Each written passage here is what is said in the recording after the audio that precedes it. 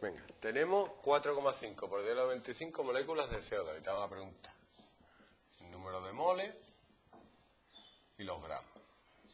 ¿Vale? Entonces hay que hacer lo que hemos hecho antes, pero al revés.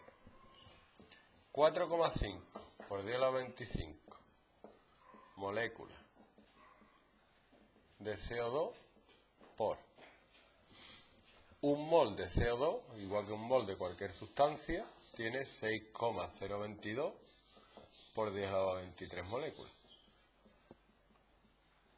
Y se te simplifican las moléculas de aquí con las moléculas de aquí y te quedan moles de CO2, que serían 4,5 exponente 25 partido 6,022 exponente 23.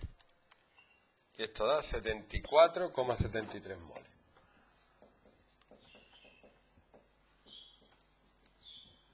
De CO2. Y si quiere calcular los gramos, los gramos, como ya tiene los, los moles, los gramos, los gramos. Los gramos son unos animales, ¿no? Una especie de, de ciervo, algo parecido. Entonces, como un mol de CO2 lo pongo abajo para que se simplifique, tiene, antes calculamos el peso molecular, que era de 32 más 12, 44 gramos de CO2. Entonces tengo 3.267 gramos. 67,94 gramos de CO2. Como ves, muy fácil. Hemos hecho al derecho y al revés.